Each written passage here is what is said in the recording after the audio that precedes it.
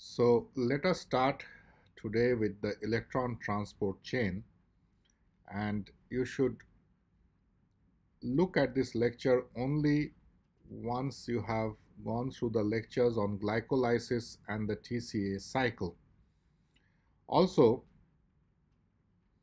I have uploaded a document on the LMS which talks about the chemiosmotic model and the proton motive force and you will understand this lecture if you go through that particular document before you listen to the recording.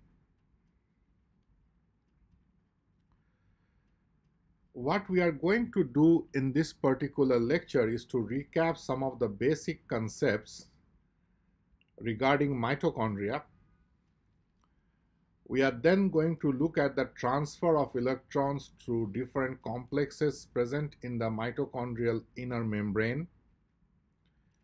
We will talk about the chemiosmotic theory and ATP production, but as I mentioned, if you have read the document that I have uploaded onto the LMS, you will understand this section better.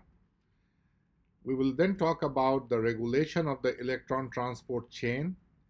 And lastly, we will focus on inhibitors of electron transport chain, which are of pharmacological and uh, toxicological importance. And you should focus on this part specifically because questions are asked mostly from this particular section. So let us start first with the general architecture of the mitochondria. So the mitochondria has an outer membrane and it has an inner membrane and the inner membrane is thrown into folds and these folds are known as cristae. Most likely you have already encountered these terms when uh, Dr. Nerissa covered um, the different aspects of the cell in her lectures on cytology. The space between the inner membrane and the outer membrane is called the intermembrane space. And this intermembrane space is extremely important as we shall see in the course of the lecture. Now, what is the general concept related to the electron transport chain. Now the electron transport chain operates between the mitochondrial matrix and the intermembrane space. Uh, sorry about the spelling error here, just remove the N. So this is the intermembrane space. So the electron transport chain operates between the mitochondrial matrix and the intermembrane space. And what happens is that there are specific complexes which are present in the inner mitochondrial membrane and electrons are transported from one complex to the other and concomitant with this electron transport protons are pumped from the mitochondrial matrix into the inner membrane or intermembrane space.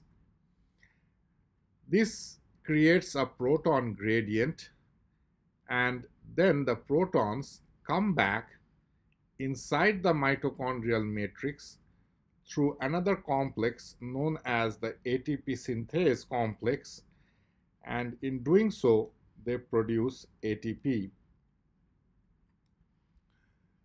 Also, during the electron transport chain, oxygen is reduced to water. So coming back in the electron transport chain, we have transport of electrons through specific complexes that are present in the inner mitochondrial membrane. Along with the electron transport, protons are pumped out from the mitochondrial matrix into the intermembrane space and these protons then come back inside the mitochondrial matrix across a concentration gradient and when they come back inside the mitochondrial matrix, this particular enzyme, the ATP synthase enzyme, helps in the synthesis of ATP from ADP and inorganic phosphate. So that's actually the overall summary of the electron transport chain.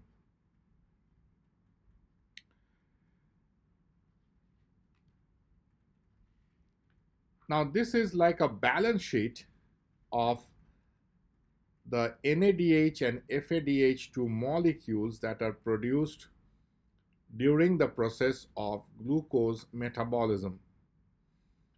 I already talked about this in the citric acid cycle lecture and asked you to do the calculation with regards to the number of ATP that are produced. But if I want to have a bird's eye view I will see that in glycolysis I produce two NADH molecules and then when pyruvate is oxidized to acetyl coenzyme A, I further produce two NADH molecules from two pyruvate molecules and in the citric acid cycle I am producing 6 NADH and 2 FADH2 molecules leading to the formation of 10 NADH molecules in total and as well as 2 FADH2 molecules.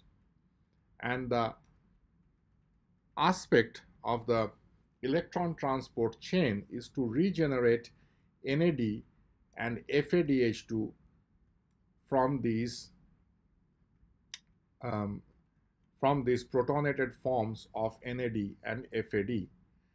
So in the process of glucose metabolism, under aerobic conditions, I produce a total of 10 NADH and 2 FADH2 molecules. And the electron transport chain oxidizes these 12 high energy electron carriers to regenerate these electron carriers, which are then used back in the citric acid cycle.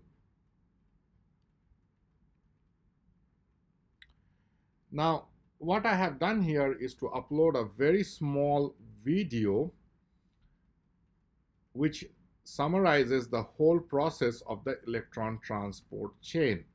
Now, I am not going to talk about the mathematics in relation to energetics of the electron transport chain because it is quite complicated and frankly it is not required for you but you need to understand the overall mechanism of the electron transport chain.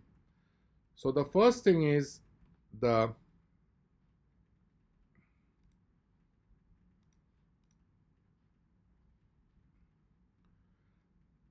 the first thing is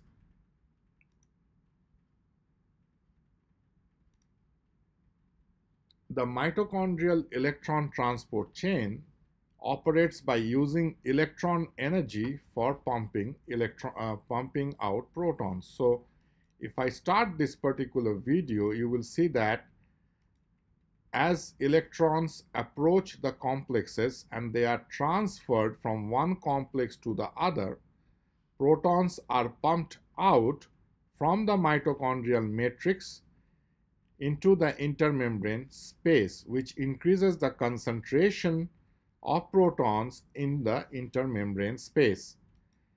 And once this happens, the protons then come back inside the mitochondrial matrix across a gradient and in the process of coming back, the energy that is generated by the protons is used for the synthesis of ATP by ATP synthase, which is a complex present in the inner membrane of the mitochondria.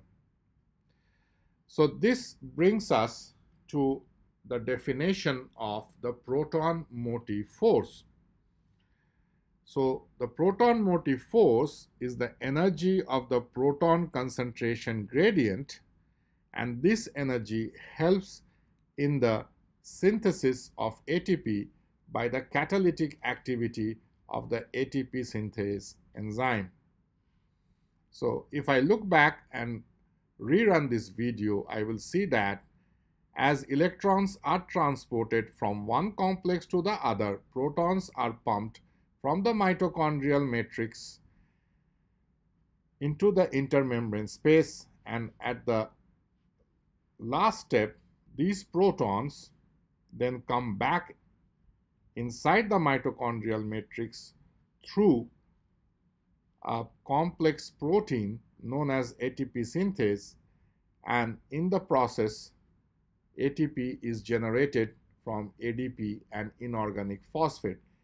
This particular process we will look at in detail in, uh, in the succeeding slides. That means how uh, protons are helping in the synthesis of ATP I will discuss this in detail in the coming slides.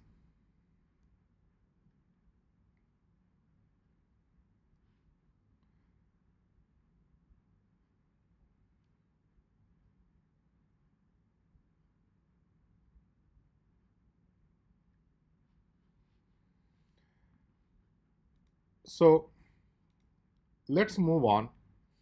And the first key fact for you is to remember that the enzymes and the electron carriers for electron transport which participate in the electron transport chain are located along the inner membrane of the mitochondria. So this is a take-home message for you that all the enzymes and the electron carriers required for transport of electrons in the electron transport chain are present in the inner mitochondrial membrane. And the key goal of this lecture is to describe the transfer of hydrogen ions and electrons in the electron transport and the process of oxidative uh, phosphorylation that leads to ATP synthesis. As I told you, I am not going to focus on the energetics related to electron transport because it will make the lecture overtly complicated and frankly it is not required for you for the purpose of assessment either at MBRU or for any of the licensing exams. So in the process of glycolysis, the coenzymes NADH and FADH2 are produced from glycolysis and oxidation of pyruvate and the citric acid cycle and in the electron transport chain, these NADH and FADH2 are oxidized to provide energy for the synthesis of ATP. That's like the definition of the electron transport chain. Now, the electron transport chain is also known as the respiratory chain. So don't get confused if some book or in the exam if a question is posed where the term respiratory chain is used because they mean the same. So what happens, the process which uh, what is taking place is that protons and electrons from NADH and FADH2 are passed from one electron acceptor or the carrier to the next until they combine with oxygen to form water. And energy released during electron transport is used to synthesize ATP from ADP and inorganic phosphate by the process of oxidative phosphorylation. If I look carefully in this particular figure, I see that there are four complexes that are involved in electron transport. So electrons get transported from complex 1, complex 2, complex 3 to complex 4 and as electrons are transported and as you noted in the video protons are pumped from the mitochondrial matrix into the intermembrane space and at the end these electrons are accepted by the terminal electron acceptor that is oxygen which I mentioned in the citric acid cycle as well. And by accepting these electrons, oxygen is reduced to water. In the process, the protons that are pumped into the intermembrane space create a gradient across the intermembrane space and the mitochondrial matrix. This gradient creates a force called the proton motive force and therefore hydrogen or protons then come back inside the mitochondrial matrix through another complex known as complex 5 which has ATP synthase activity and while coming back the energy that is released is used for the synthesis of ATP. So the whole process here is to pump out protons from the mitochondrial matrix into the intermembrane space and these protons then come back inside the mitochondrial matrix creating a proton motive force which facilitates the synthesis of ATP by the catalytic activity of the enzyme ATP synthase.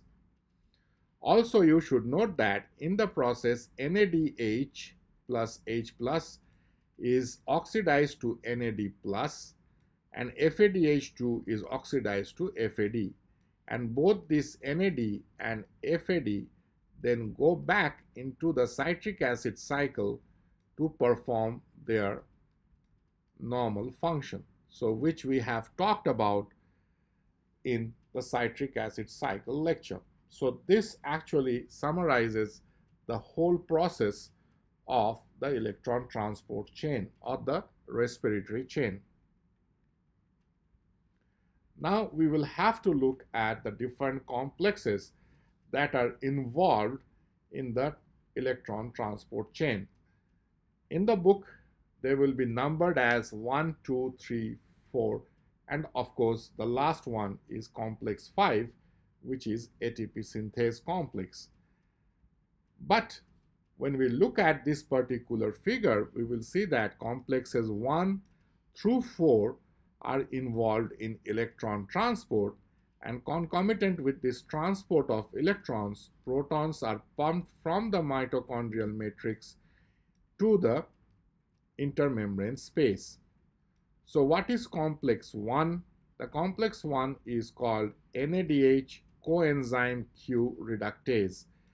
There is a space between Q and R, which I do not know why it is not showing up, probably because I am using a Mac and sometimes this kind of uh, formatting errors show up when uh, PowerPoint is being used on an older version our older version of PowerPoint is used on a Macintosh machine. But the first complex is the NADH coenzyme Q space reductase.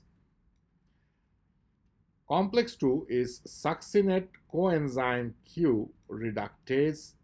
Complex 3 is cytochrome C reductase and complex 4 is cytochrome C with a space between C and O oxidase.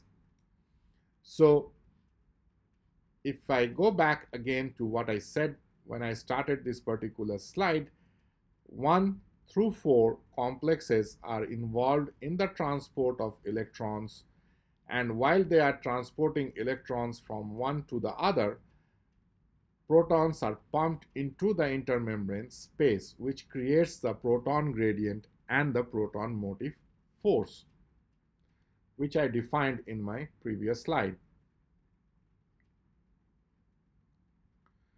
So now we need to look at the individual complexes in a bit of detail. So we first start with complex 1. So in complex 1, electron transport begins when hydrogen ions and electrons are transferred from NADH to complex 1. So if I look at it here,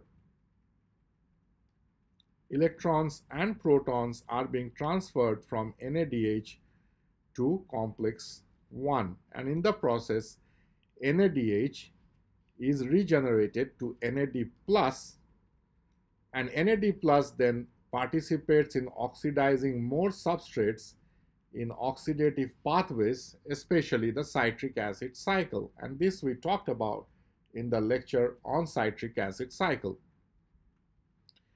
Now the hydrogen ions and electrons are transferred to coenzyme Q, which is located in the inner mitochondrial membrane.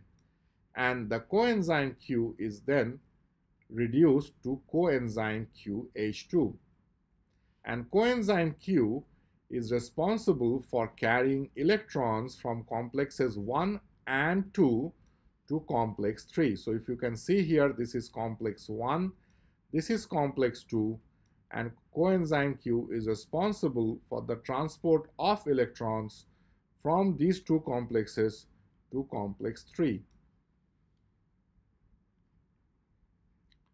Now we look at the electron transfer in complex 1. Now during electron transfer, and I mentioned this when I started the lecture, hydrogen ions are pumped through complex 1 into the intermembrane space which produces a reservoir of protons and creates a hydrogen ion gradient. Now for every two electrons that pass from NADH to coenzyme Q, four protons are pumped across the mitochondrial membrane, which produces a charge separation on opposite sides of the membrane. So the electrons get transported to coenzyme Q and the protons are pumped from the mitochondrial matrix inside the intermembrane space, which creates a charge separation, especially because now you have more protons on this particular side of the membrane and you have less protons in the mitochondrial matrix. And in the process, if I want to write an equation for this, I have NADH plus H plus plus coenzyme Q, which gives rise to NAD plus and reduced coenzyme Q.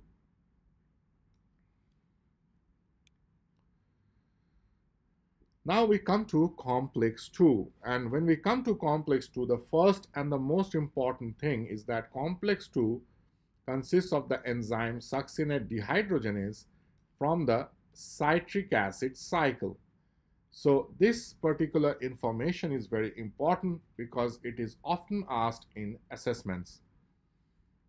So in complex 2 coenzyme Q obtains hydrogen and electrons directly from FADH2. This produces coenzyme QH2 and regenerates the coenzyme FAD and FAD then becomes available to oxidize more substrates especially in the citric acid cycle which we have already seen. What you should note here is that there is no pumping of electrons taking place from, uh, from, complex, uh, from complex 2 from the mitochondrial matrix into the intermembrane space as we saw in the case of complex 1.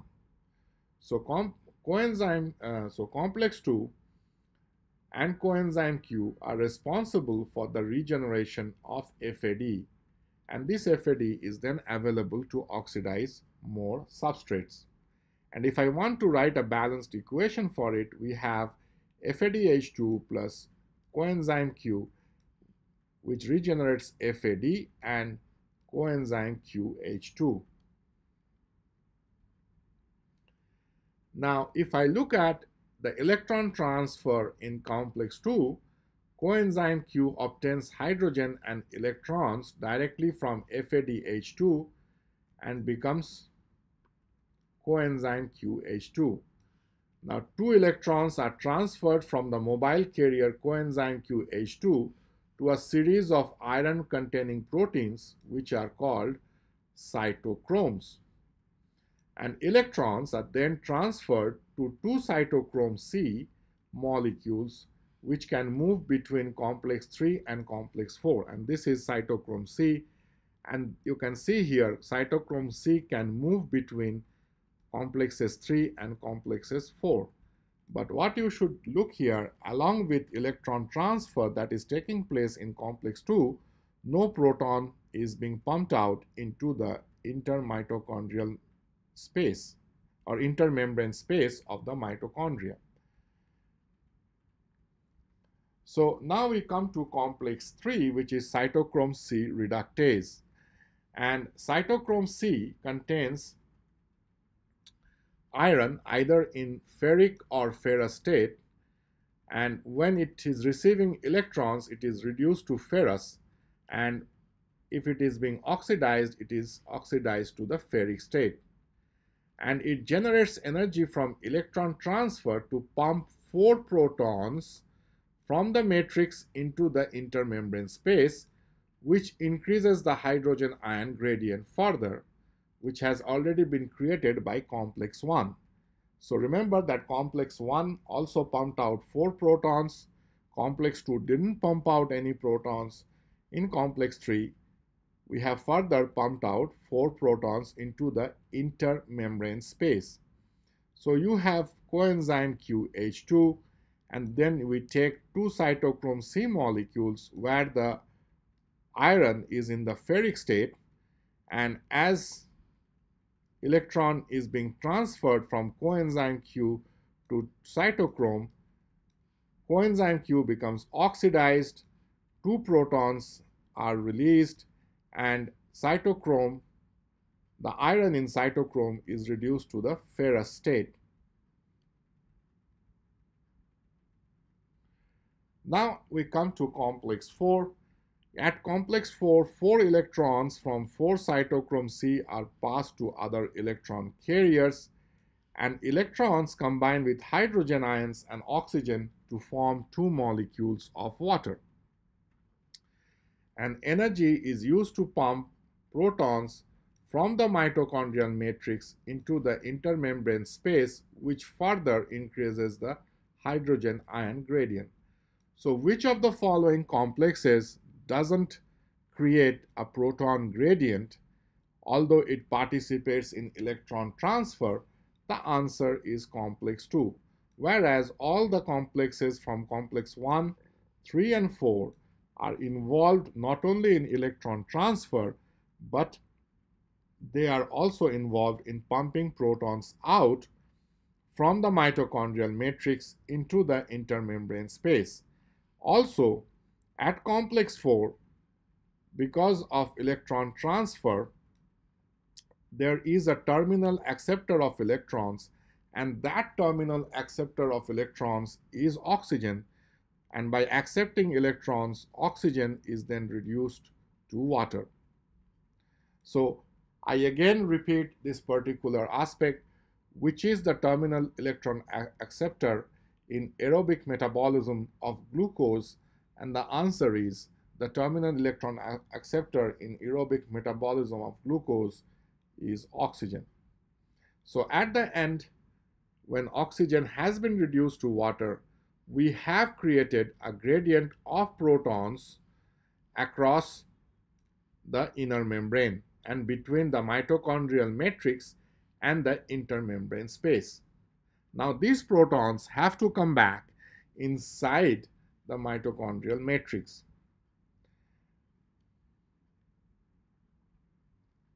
So before we go there and how these uh, protons come back inside the mitochondrial matrix, we talk about oxidative phosphorylation. So energy is coupled with the production of ATP in a process called oxidative phosphorylation because it is involving the production of ATP. We call it phosphorylation of ADP. And the process takes place according to a model which was first proposed by Peter Mitchell and this model is known as the chemiosmotic model for which Peter Mitchell received the Nobel Prize. What this model says is that it links energy from electron transport to a hydrogen ion gradient that drives the synthesis of ATP. What is chemiosmosis and what is chemiosmotic model? As I said, you should read the handout that I have provided on the LMS before you listen to the lecture because there the chemiosmotic model is described and discussed in detail. Now, this particular phenomena allows complexes 1, 3, and 4 to act as hydrogen pumps producing a hydrogen ion gradient. And it, it equalizes the pH and electrical charge between the matrix and intermembrane space that occurs when protons must return to the matrix. So chemiosmosis is the migration of ions across a semi-permeable membrane similar to osmosis, but here it is the migration of ions across a semi-permeable membrane. And in the chemiosmotic model, the return of the protons inside the mitochondrial matrix takes place through a fifth complex which is known as ATP synthase. Now let us look at the fifth complex or ATP synthase. So in the chemiosmotic model, hydrogen or proton cannot move through the inner membrane but returns to the matrix by passing through a fifth protein complex. So this is the fifth protein complex. This is the structure, the three-dimensional structure of the fifth protein complex. Of course, you need to realize that this is this is the inverted model. So this is the in, intermembrane space and this is what the ATP synthase looks like. So hydro, uh, protons cannot move through the inner membrane but returns to the matrix by passing through a fifth protein complex in the inner membrane called the ATP synthase or complex 5. Now the flow of protons from the intermembrane space through the ATP synthase generates energy that is used to synthesize ATP from ADP and PI. So ADP and PI plus energy that is generated by the migration of the protons in the presence of the enzyme ATP synthase leads to the production of ATP. And the process of oxidative phosphorylation couples the energy from electron transport to the synthesis of ATP because electron transport creates the proton gradient which creates the proton motive force and this proton motive force helps in the generation of ATP by the participation of the ATP synthase complex.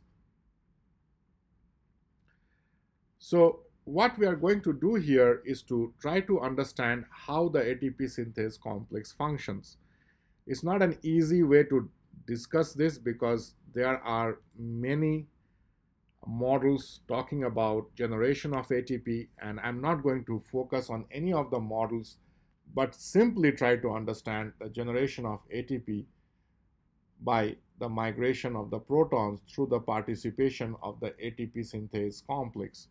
So if I start this uh, particular video, you will see that this particular part of the ATP synthase complex is rotating as the protons keep entering from the intermembrane space into the mitochondrial matrix. So if I look at it, you can see here this particular thing is rotating.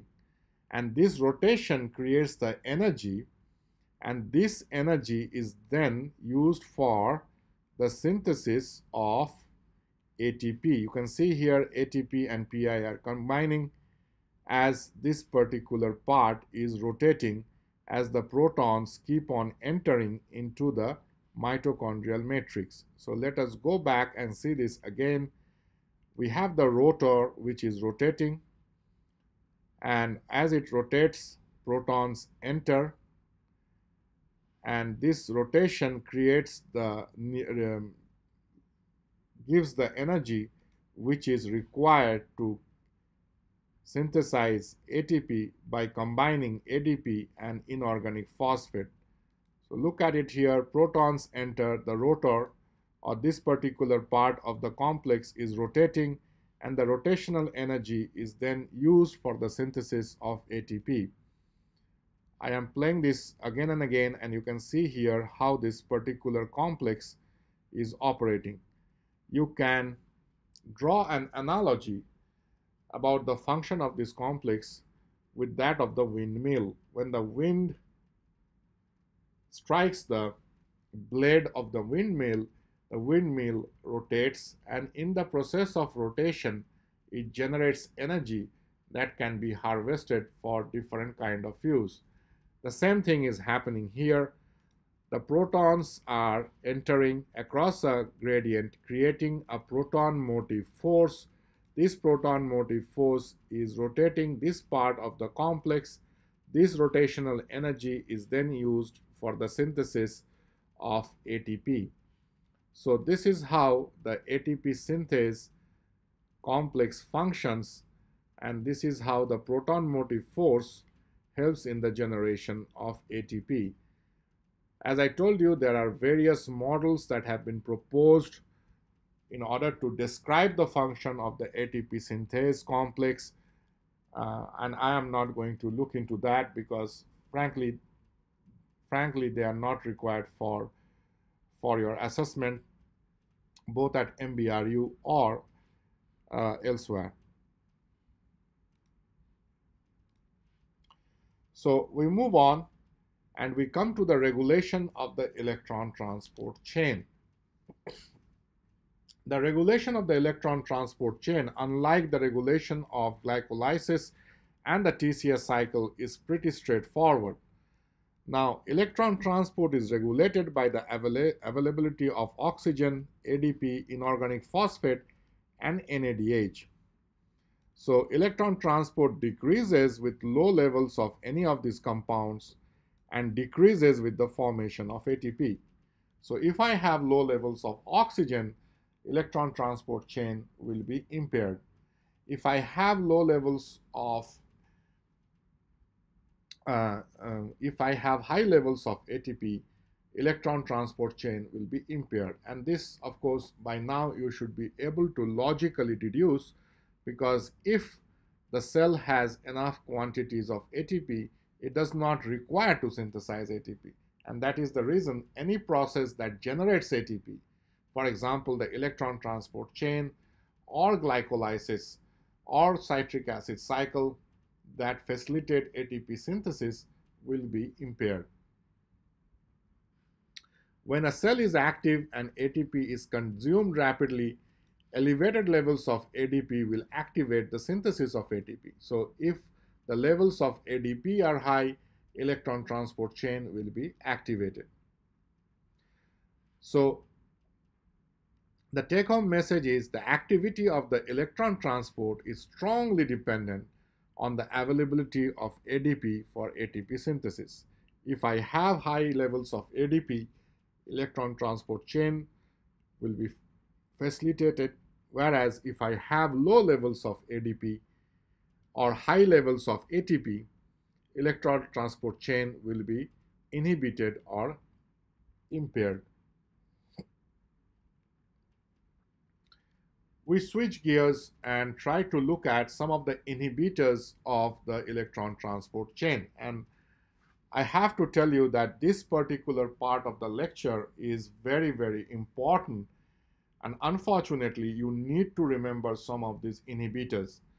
So what I have done here is to go through the different assessments, uh, not only at MBRU, but also looking at the books which focus on the licensing examinations and isolate, and I have categorized the inhibitors according to their site of action. So if you remember the site of action and the name of the inhibitor, you should be able to answer specific questions related to these inhibitors very easily. So what I have done in the first case is to look at the inhibitors of complex 1 and I have just written as C1 so this is complex 1. So the inhibitors such as barbiturates or sedatives or barbiturate derivatives such as amobarbital, they are responsible for inhibiting complex 1. So what will happen if I inhibit complex 1? NADH will not be oxidized to NAD+. So the levels of NAD+, will be decreased if I add one of these agents inside the cell. or more precisely the mitochondria. So I have shown here barbiturates, rotenone which is a broad spectrum insecticide, pesticide or a pesticide. Then we have I have also looked at piericidin which is an antibiotic, antibiotic then chlorpromazine or an antipsychotic medication and guanethidine which is an antihypertensive but which is currently not used or has been withdrawn. So if I look at any of these chemicals and if I add it to a cell, the effect that we will have is not only the impairment of the electron transport chain, but also there will be depletion in the levels of NAD+.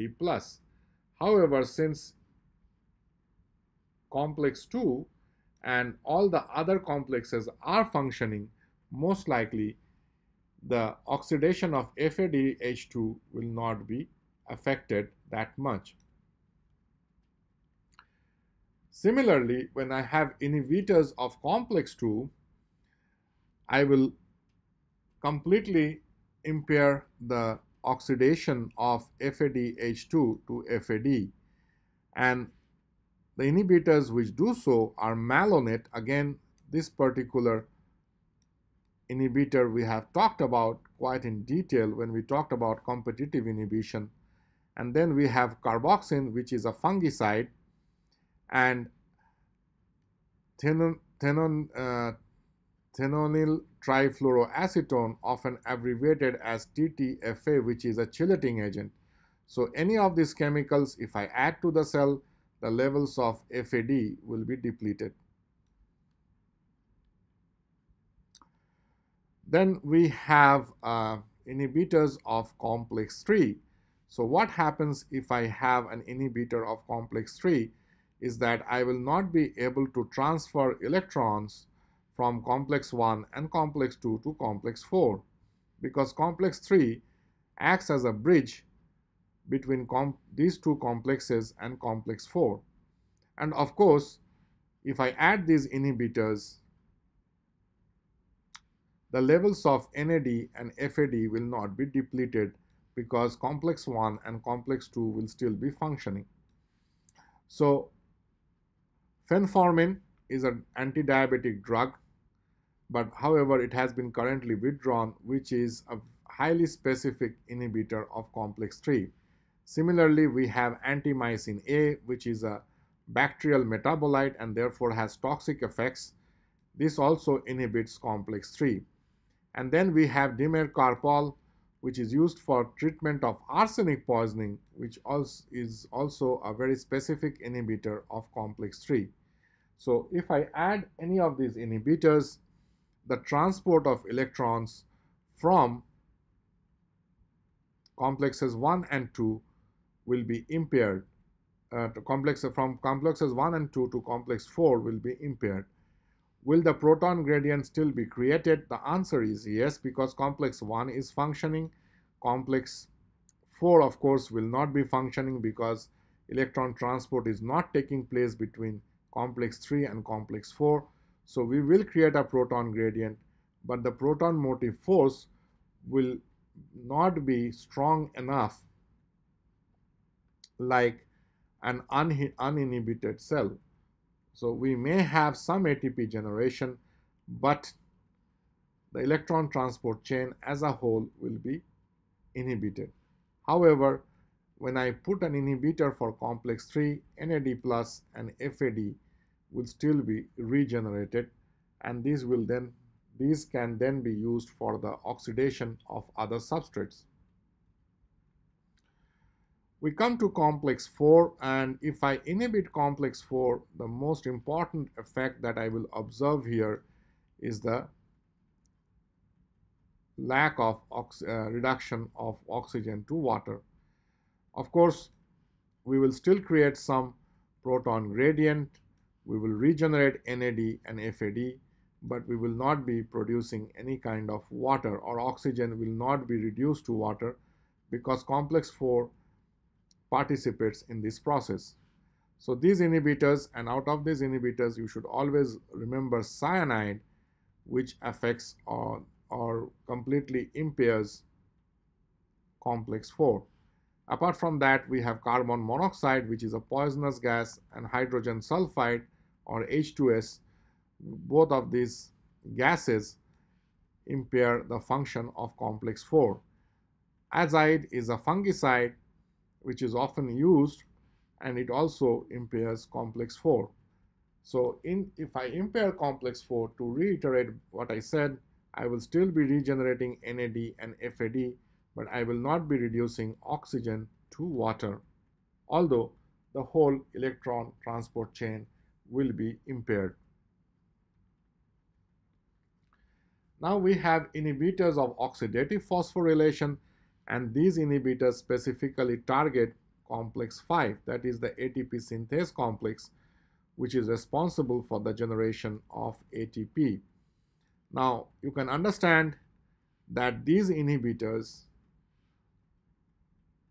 if I add these inhibitors to the cell I will not be producing any ATP although I will be creating a proton motive force because although the proton gradient is created, since this particular complex is inhibited, ADP and PI will not give rise to ATP. So chemical molecules such as oligomycin, which is a bacterial metabolite, and dicyclohexyl carbamide are inhibitors which specifically attenuate the function of the ATP synthase complex or completely inhibit the function of the ATP synthase complex. Once this complex is inhibited, there will not be any production of ATP, although I will again regenerate NAD and FAD and also produce water.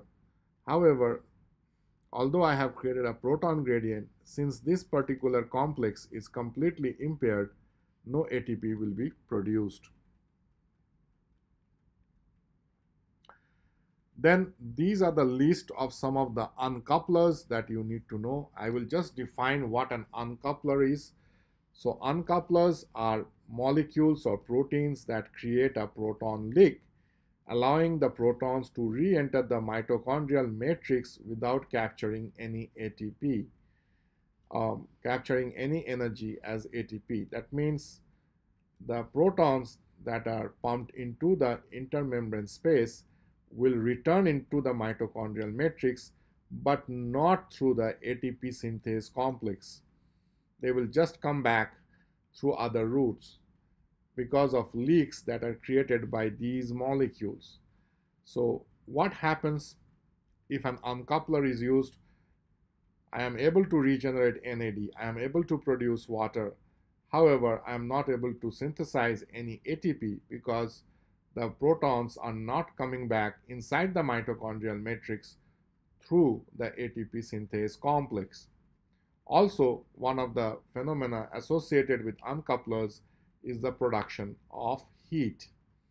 So this, this is what the uncouplers specifically do. So that brings us to the end of the electron transport chain lecture. As I mentioned, I my main goal was to talk about the transport of electrons and then talk about how the proton gradient is created, the basics definition, the basic definitions of proton motive force and the chemiosmotic model. Um, also, I explained, but I have uploaded a document which talks about them in a bit of detail and will help you to understand the lecture better. But the most important part of the lecture is uh, the list of inhibitors which I have grouped according to the site of action. And why they are important because many a times people will be asking you questions regarding poisoning and the side effects of drugs. And many of these poisons or drugs, they specifically attenuate the function of one of these electron transport chain complexes.